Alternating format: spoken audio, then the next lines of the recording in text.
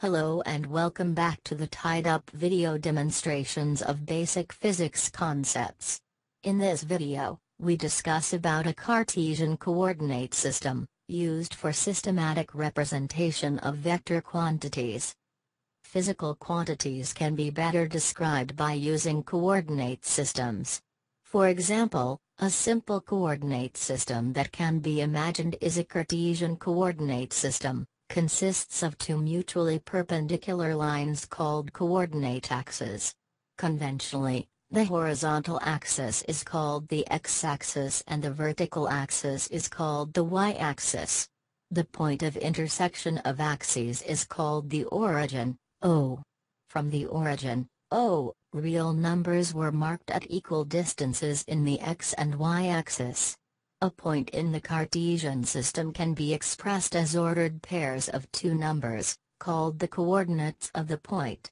The first number is called the x-coordinate and the second number is called the y-coordinate.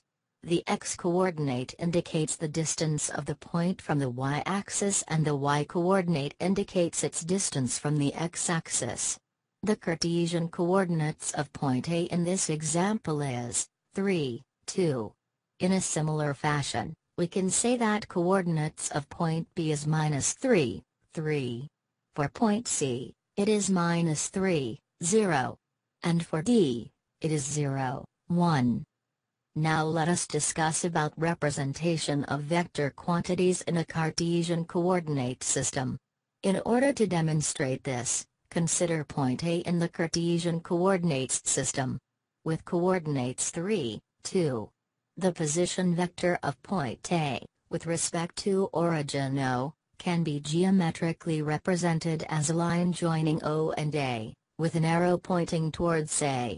The arrow shows the direction of location of point A, with respect to the x and y axis.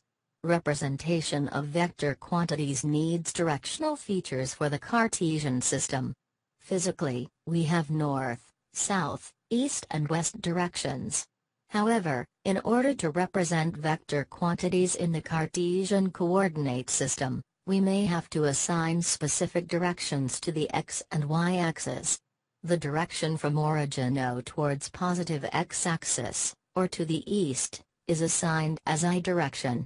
Direction towards negative x-axis, or to the west, as minus I, towards positive y direction, or to the north, as j, and towards negative y direction or, to the south, as minus j.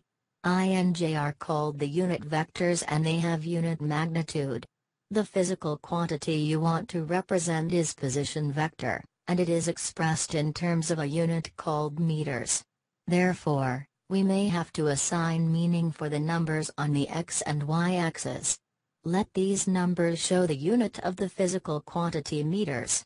Using this features of the coordinates system, we can systematically say that the position of A is 3 units in the positive I direction followed by 2 units in positive J direction.